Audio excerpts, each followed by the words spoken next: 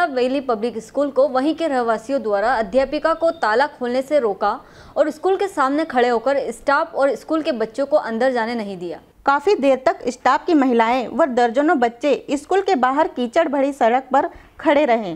कई पालक अपने बच्चों को इस घटनाक्रम को देखकर वापस घर ले गए। प्रिंसिपल उर्मिला सिंह स्कूल का ताला खोलने से रोकने वालों को समझा रही थी, मगर कॉलोनी वासी उनसे भी ऊँची आवाज़ में बोलकर उन्हें चुप करा रहे थे।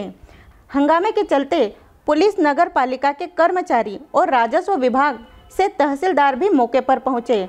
अधिकारियों के आते ही रहवासियों की जबान बदल गई और उन्होंने अपना उद्देश्य बताते हुए कहा कि हमारा मकसद स्कूल को बंद करना नहीं था, बल्कि इस सड़क के निर्माण को लेकर था।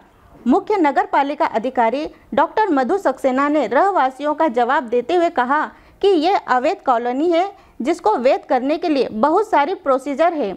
अभी वर्तमान में यहाँ पर सिर्फ़ मुरुम डाली जा सकती है। जिस तरीके से स्कूल में बच्चों को रोका, महिलाओं से तेज आवाज़ में बात कर उनको डराया गया, जिससे उनके मन में भय है। सनावत से आशिक अली की रिपोर्ट।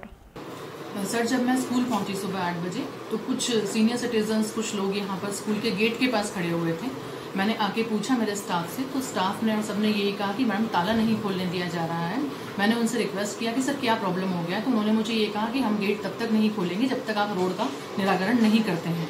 तो मैंने उनसे यही रिक्वेस्ट किया कि सर आप बच्चों को और मेरे टीचर स्टाफ को अंदर जाने दीजिए। लेडीज़ स्टाफ है हम लोग आपसे बात करते हैं। मैनेजमेंट मैं डायरेक्टर सर को फ़ोन लगा दी थी उस टाइम कि आप आ जाएँ सर हम लोग बात करते हैं। तो उन्होंने उस चीज़ के लिए हमें क्लियर मना कर दिया कि नहीं गेट तब तक नहीं खुलेगा जब तक इसका निराकरण नहीं होगा।